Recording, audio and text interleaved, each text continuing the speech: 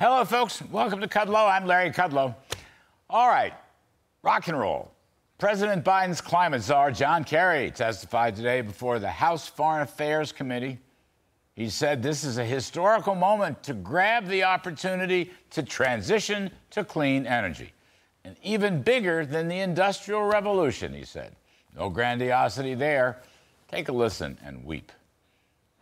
This opportunity to transition to clean energy is without doubt the largest economic opportunity the world has seen since the Industrial Revolution.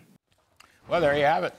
Listen and weep. Anyway, among other things, Mr. Kerry wants the U.S. to spend $100 billion for less developed countries so they can make this grandiose transition to clean energy. He wants to end gas powered cars. He wants to go 100% electric by 2035. He believes the so called climate crisis is a threat to our national security. And he's fallen in love with the misnamed Inflation Reduction Act, which he says has already created 100,000 jobs. And he says every step he's taken is based on the best available science. Phew, breathtaking. I'm gasping for air on this, for clean air, of course. Now, with all this said, by our climate czar, let me add a couple of notes to his songbook. First of all, he's a cabinet member who has never been confirmed by the Senate. He's got a 45 member staff. He jets all around the globe. He may well be making climate deals or climate treaties that no one knows about because it's basically a rogue operation. And he is not held accountable to anybody. There's no formal congressional oversight. And today, in front of the Foreign Affairs, he wouldn't talk about his operations at all. Now, according to the Unleashed Prosperity Hotline, House Oversight Chairman James Comer is going to haul Kerry before his committee to explain how he can unilaterally sign the U.S. up for these pricey climate agreements. None of this is constitutional. There's been no congressional appropriation. And basically, nobody knows what this guy's doing.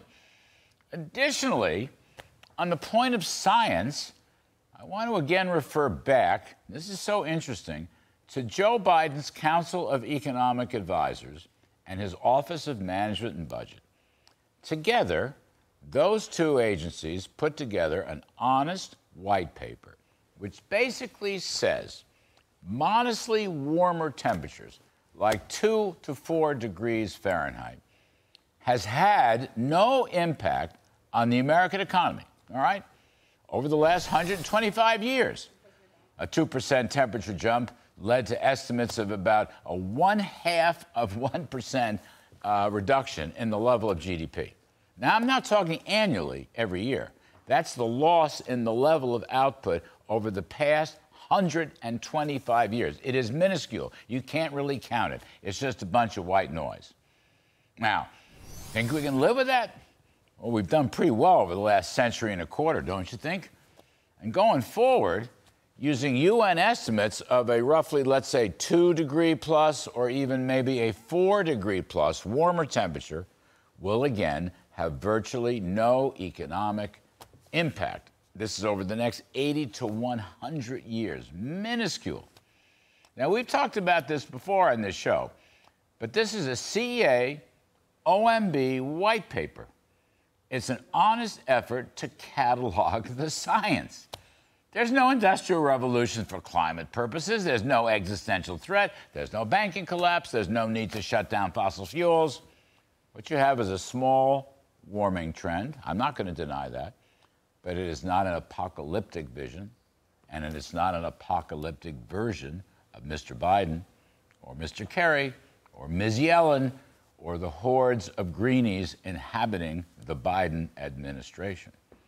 And by the way, talking about science, American technological inventions and innovations and advances are likely to produce not only declining carbon, as we have seen, but also fabulous prosperity opportunities for this great country of ours. Fabulous.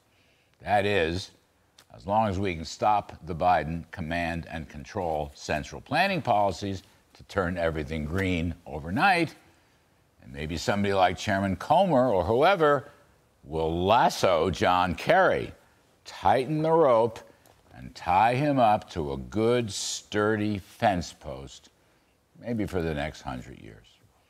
Now, folks, we're going to talk later in the show to Manhattan Institute economist Mark Mills about the unpopularity and the impossibility of a 100% electric vehicles.